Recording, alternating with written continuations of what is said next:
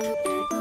Thomas Soto. On innove avec vous, Anis Mbidal. La prochaine rouée vers l'or pourrait avoir lieu dans l'espace puisque les astéroïdes regorgent de métaux précieux. On parle d'or, de diamants, de platine et en quantité astronomique puisqu'on a calculé qu'un petit astéroïde, 500 hein, mètres de diamètre, pouvait contenir presque 200 ans de production mondiale de platine. 200 ans, vous imaginez On parle de milliers de milliards d'euros. Donc évidemment, ça intéresse tous les spécialistes de l'exploration minière. Le problème, c'est que jusqu'ici, ils étaient bloqués par un traité qui considère l'espace comme un bien commun qui ne doit appartenir à personne. Eh bien, après les États-Unis, c'est le Luxembourg qui vient de garantir aux exploitants qui seraient bien propriétaires de tout ce qu'ils récupèrent dans l'espace. C'est un peu comme l'océan. Hein.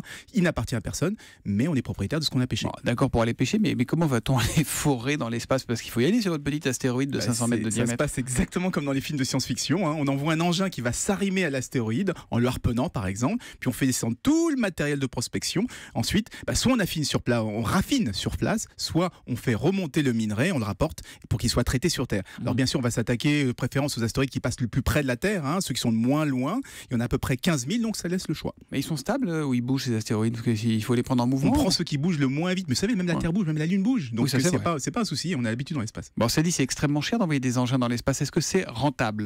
Non, aujourd'hui, pas du tout rentable. Mais il faut savoir qu'on a de plus en plus de mal à trouver des métaux, euh, des métaux lourds, des métaux rares, et que le prix des lanceurs spatiaux a tendance à baisser. Donc ça va devenir intéressant. Et de toute façon, les premières missions ne sont pas, commenceront pas avant 2020-2025. Et en attendant, eh ben, le Luxembourg se positionne tout doucement, une fois de plus, comme un paradis légal de mhm. forage spatial. Même si les fusées ne partent pas de chez lui, eh ben, il veut attirer les entreprises euh, avec son cadre juridique, parce que partout ailleurs, en France notamment, eh ben, on n'est pas sûr de pouvoir ramener ce qu'on a, les lingots qu'on a récupérés dans l'espace. Céline Kalman vous regarde avec des grands yeux. Je pense qu'elle va lancer Kalman Espace dans pas longtemps pour aller forer sur, les astéroïdes. Merci beaucoup, Alice, et à demain.